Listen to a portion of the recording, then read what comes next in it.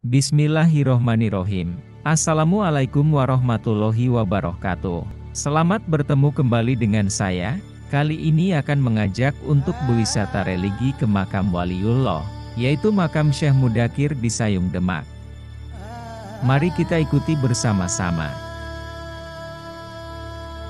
Nama Syekh Abdullah Mudzakir cukup dikenal di kalangan santri di wilayah Demak dan sekitarnya. Syekh Abdullah Mudzakir atau akrab dipanggil Mbah Mudzakir merupakan salah satu ulama besar yang menyiarkan Islam di kawasan Pantai Sayung, Demak. Makam Syekh Abdullah Mudzakir dan keluarganya tersebut dianggap keramat lantaran tidak terkikis dan tenggelam diterjang pasang surut air laut. Ketika hendak berziarah menuju ke makam Mbah Mudzakir, Peziarah harus berjalan sepanjang 700 meter. Dahulunya Dusun Tambak Sari tempat di mana makam Mbah Mudzakir berada adalah daratan.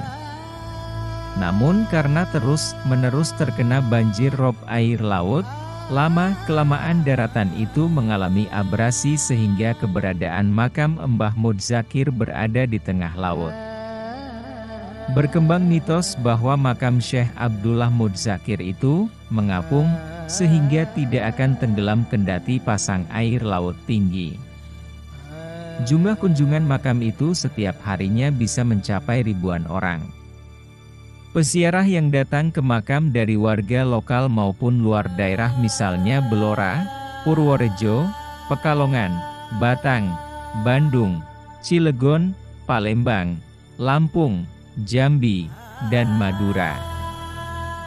Untuk menuju makam tersebut, peziarah bisa memilih dua alternatif melalui jalan sejauh 1,5 km yang kini rusak dari Dukuh Bedono atau dengan naik perahu dari Dukuh Morosari. Jika kita berjalan kaki maka menelusuri jalan tanggul yang rusak parah karena terhantam oleh arus air laut sepanjang masa. Maka kita perlu kehati-hatian jangan sampai tercebur ke laut.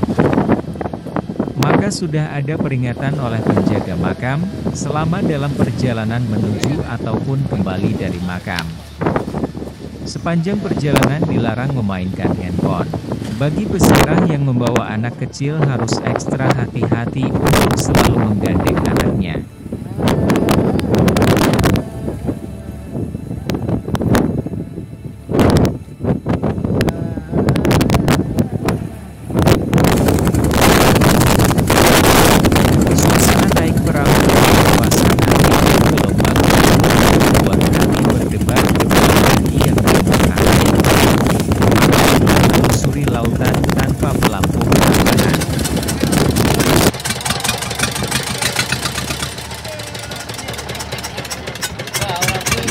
Setelah menelusuri lautan sampailah ke komplek makam.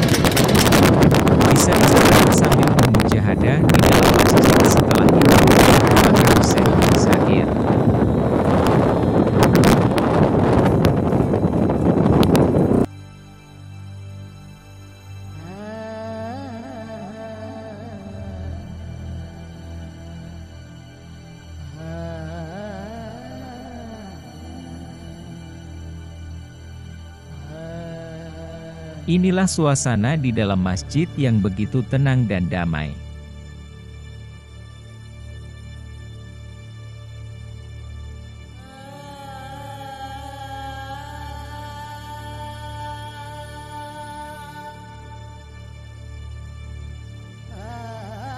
Kemudian kita lanjutkan perjalanan menuju makam.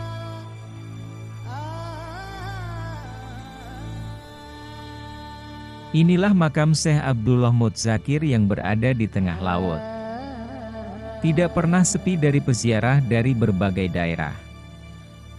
Demikian sekilas wisata religi ke lokasi makam Syekh Mutzakir. Lokasi dapat dijangkau dengan menyusuri jalan utama Semarang Demak, lalu menuju kompleks Pantai Morosari di Desa Tambak Sari, Bedono, Sayung, Demak, Jawa Tengah. Dari Pantai Morosari, pengunjung masih perlu menempuh jarak sekitar 1 km untuk mencapai makam. Pengunjung bisa berjalan kaki menyusuri jalan setapak yang terbagi menjadi tiga bagian. Pertama, pengunjung berjalan sekitar 500 meter dengan sejauh mata memandang terlihat pemandangan laut yang indah. Semilir tiupan angin ditambah pemandangan warga sekitar yang sedang memancing menambah menarik perjalanan. Kedua, jalan setapak yang terbuat dari papan kayu kurang lebih 200 meter menuju makam di tempat ini, pengunjung disuguhi pemandangan hutan mangrove yang begitu indah dan beberapa populasi burung yang berterbangan.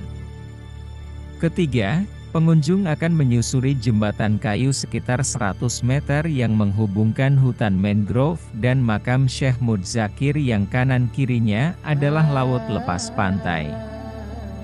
Di area sekitar makam angin bertiup semilir, udara terasa sejuk, serta ditambah syahdunya suara deburan ombak. Suasana tersebut sangat cocok dalam menambah kehusukan para pengunjung saat mengirimkan dan memanjatkan doa di sekitar makam. Demikian yang bisa saya sampaikan. Semoga dapat bermanfaat. Terima kasih. Wabillahi taufik wal hidayah. Wassalamualaikum warahmatullahi wabarakatuh.